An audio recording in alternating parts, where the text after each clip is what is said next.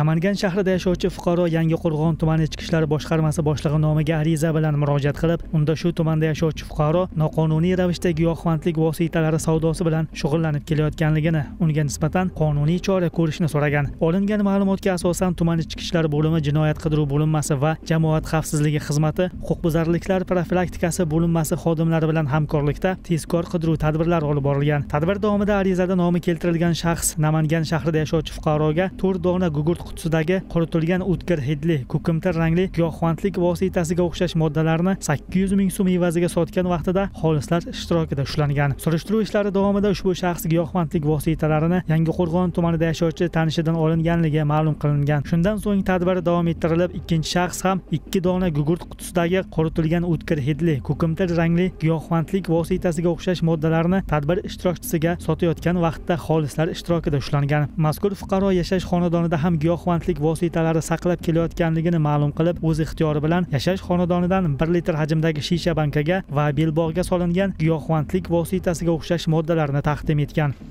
Ushbu ko'kimtir o'simliklar bankada ekan. Mana bankada uni tekshirib ko'rishlik uchun xolislar ishtirokida mana ko'ramiz.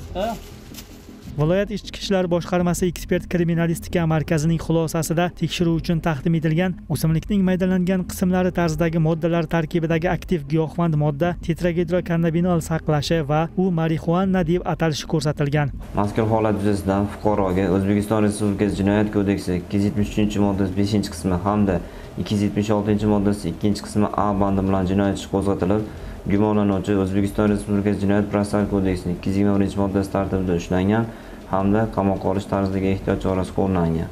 Hozirda dastlabki tergov harakatlari olib borilmoqda. Hurmatli hamyurtlar ogoh bo'ling. Ana shunday kimsalar jinoyatidan xabardor bo'lsangiz bu haqda tegishli idoralarga xabar bering.